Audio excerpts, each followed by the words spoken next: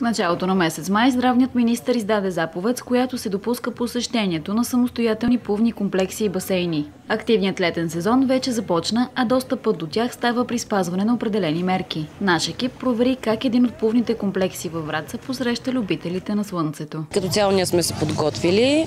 А, имаме разстояние между шезлонгите, а, което нали, е оказано. А, хората не се притесняват, може би по-скоро са се намъчили и наистина а, имаха нужда от а, а, това нещо. На входа на комплекса е осигурен дезинфектант, а обработка и дезинфекция на площите и прилежащите помещения се извършва на всеки час. Предвид обстановката с коронавируса, Албена сподели, че е имала притеснения дали хората ще започнат да посещават басейна. Надявам се хората и да се отпуснат, а, да си почиват и да се насладат на летния сезон, защото всички го чакахме дълго време.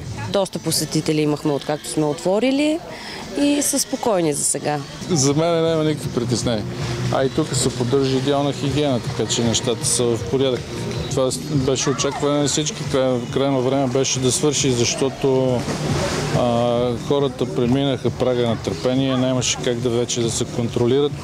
В смисъл такъв, а, всеки индивид има нужда от а, общуване, от социализация. А ние бехме в една изолация, която не ни даваше възможност да вика да си кажем две приказки. А, това е тук място за почивка и най-важното хората ще, ще намерят едни такива отношения, които а, изпитваме вече глад от тях в тия три месеца изолация. Аз лично не се притеснявам.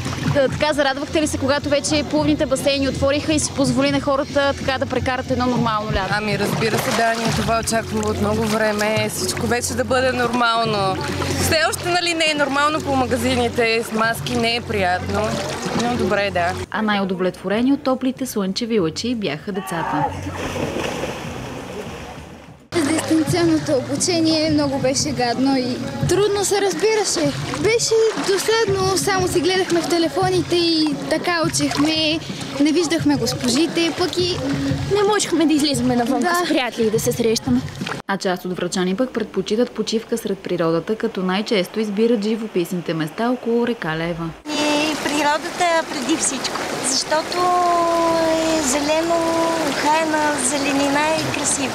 Тук за първи път идваме, видяхме, че почистват, което е много хубаво. Погрижили са се за нашата евентуална почивка.